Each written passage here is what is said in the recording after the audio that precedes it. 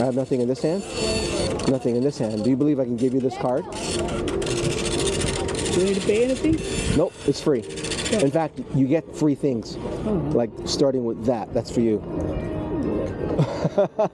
Isn't that cool? That's so Let me show you another trick. Read the triangles out loud. Once in a lifetime. No, no, no. Uh, right, start left to right. Fairies in the spring, bird in the hand, once in a lifetime. Do you believe I deceived you? It doesn't say any of those things. This is Paris in the the spring, bird in the the hand, once in a a lifetime. Is that crazy? That was there the whole time. You see it? You see the double words? No. You don't see Oh, it? yeah. Paris in the the spring, bird in the the hand. Crazy. Crazy, yeah. Once in a. Right. She, she's seen this. Okay, let, Really? let me show you another magic trick. Okay, Uh-huh. you see how easily you can be deceived, right? Are you a good person? I don't know. You don't know? Let's take a test. Have you ever told a lie? Oh, yeah. What do you call people who tell lies? Liar. So what are you? Liar. Have you ever taken something that does not belong to you ever? I. Candy, an answer from somebody's test. Yeah. What do you call people who steal? Thief. So what are you? Thief. No, you're a lying thief. Have your parents ever punished you? Yeah. That means you haven't always honored your father and your mother. So by your admission, you're a liar, a thief, disobedient, rebellious. Is that a good person? No. So if you died today, if God judged you, would you be innocent or guilty? Guilty. Should God let guilty people into heaven? Where would you have gone had you died yesterday? You said it, I didn't. Do you realize I didn't tell you anything? I've only asked you questions. Everything I said was a question. But do you know it's not too late for you? There's still a way for you to go to heaven. Do you know what God did for you? Let me born. Besides that, He paid the penalty for your sins. Like, in other words, you committed a crime, Jesus did the time. Okay? Jesus died on the cross because he was being punished for your sins and mine. And then he rose again on the third day, right? So, if you'll repent of your sins and believe in Jesus, you can be forgiven. Here's what Jesus said He who believes in me has everlasting life. So, what do you have to do? Believe me. Jesus, right? Acts 16:31 in the Bible says this: Believe in the Lord Jesus Christ and you will be saved. Do you know what day you're going to die? So it's imp- important to make sure that you're going to heaven, right? So what's your first name?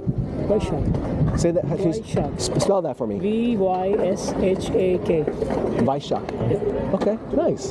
So Vyshakh, do you believe the gospel, the good news that Jesus died for you? I just shared it with you. Are you ready to lay down your old life? The old Vyshakh should die, but the new Vyshakh should come alive, pick up his cross, and follow Jesus. Are you ready to? do that. You don't have to do anything weird. I'm going to ask you four questions. If you answer them correctly, I'll pray for you. And then if you truly made a commitment to follow Jesus and believe in Jesus, you're born again. And what, if you're truly born again, you will change. You will lead a new life. You will, the old Vyshakh will start to die and die. The new Vyshakh will, will come alive and be, he'll follow Jesus, no matter where Jesus takes him. Are you ready to do that? It's okay. I'll ask you four questions to see how we how we go, okay? Do you agree that you've sinned against God? Yes. Do you believe that Jesus died for you on the cross? Do you believe that he then rose again on the third day? Yes. Do you commit to believe and obey Jesus forever and ever? Heavenly Father, Lord, I'm going to pray for you, okay? Please receive Vyshakh into your kingdom. Please save him because he just heard the gospel. He believes the gospel. Would you please fill him with the Holy Spirit, cleanse his life of all sin, and whenever he fails, show him his failure and cleanse him again and again until he becomes more and more like Jesus every day. In Jesus' name, amen. That's all there is to it, Vyshakh. So, um, I want to share something with you about what it means to be a Christian. First, I'm going to start with an easy phrase read, pray, and obey every day. Read your Bible every day, pray to God every day, and obey God every day, every day. Read, pray, and obey every day. Okay? You can remember that, right? And then um, we'll start obeying, besides reading, praying, and, and obeying. Where do you go to church? Do you already go to a church? You, would you like to? I don't, I don't have anybody here. we love you. We can take you into a church. What what city do you live in? Gardena. Gardena. Gardena. It's very close. Hope Chapel. You know what? Um, we're going to exchange information, and we'll take you to Hope Chapel. Is that okay?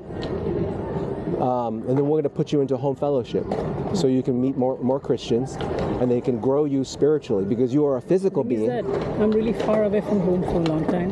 Okay, you have a new family. You just got born into a new family. It's really hard, like to be alone here. I've been almost like six years alone. I don't know. Oh my goodness, that's terrible. Do you know that hell, the reason why hell exists is because sin is destructive to everybody around you. And when if you ever end up in hell, you'll be by yourself. Okay? Forever. So when you're born into a new family, immediately you have new brothers and sisters. And that's God immediately starting to reverse the, the effects of sin. So I want to connect you with Hope Chapel, a small group in Hope Chapel. They become your new family. You have people you can call. You can even go out and spend time with during the week. Okay? Yeah. Because it's more than just is that I've been stuck in my place for a long time. we don't want that for you. It's not healthy. It's, it's actually bad for your physical, emotional, and spiritual health to be alone. Okay? So, So uh, the community is like, if I, I don't know, is it Orthodox? It's like a the age group, it doesn't matter. It's all age groups. They have age specific groups and they have groups for everybody. Okay? I, I mean, like I have any years, so I can just, you know. They have definitely people in your age. What are you about? Mid 30s? He looks about 60. That's terrible. See, almost there. I wish. That's, that's as hard as 60. No, th- there are like young adult groups that you could fit into perfectly. We'll connect you. Later that same day, Vyshakh attended his first church service, took his first communion, was connected to Hope Chapel, invited to other church functions, and made new friends.